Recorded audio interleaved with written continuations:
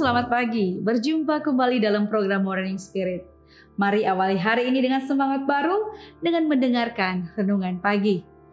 Kamis 27 Oktober 2022. Paulus memelihara iman.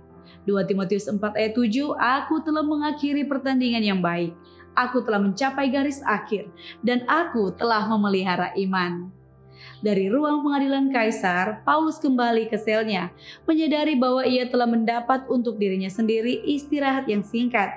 Ia mengetahui bahwa musuh-musuhnya tidak akan berhenti sampai mereka melaksanakan kematiannya. Tetapi ia mengetahui juga bahwa untuk sesaat kebenaran telah menang. Memasyurkan juru selamat yang telah disalibkan dan telah bangkit di hadapan orang banyak yang telah mendengar kepadanya adalah suatu kemenangan. Pada hari itu, Suatu pekerjaan telah berawal yang akan bertumbuh dan bertambah kuat, dan yang mana Nero dan segala musuh Kristus yang lain akan berusaha dengan sia-sia untuk menghalangi atau membinasakan. Selama masa pelayanannya yang panjang, Paulus tidak pernah tersandung dalam kesetiaannya kepada Juru Selamat.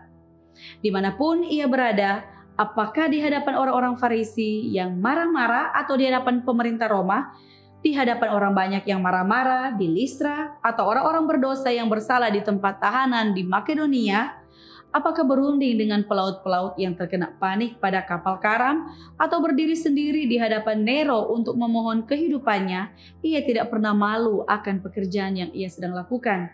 Maksud yang besar dari kehidupan kekristenannya ialah melayani dia yang namanya telah memenuhi dia dengan penghinaan dan dari maksud ini tidak ada pertentangan atau penganiayaan sanggup mengesampingkan dia. Imannya yang dikuatkan oleh usaha dan disucikan oleh pengorbanan menegakkan dan menguatkan dia.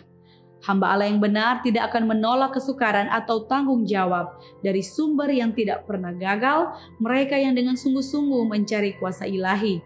Ia mendapat kekuatan yang menyanggupkan dia untuk menemui dan mengalahkan pencobaan dan melakukan tanggung jawab yang dibebankan Allah kepadanya jiwanya keluar dalam kerinduan yang besar untuk melakukan pelayanan yang berkenan kepada Tuhan. Alfa dan Omega jilid 7 halaman 421 sampai 423. Kiranya firman di pagi ini boleh menguatkan iman percaya kita sambil menanti kedatangan Tuhan yang kedua kali. Mari kita berdoa.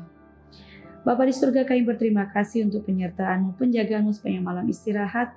Kami boleh bangun pagi ini dan kami boleh kembali dikuatkan dengan firman-Mu.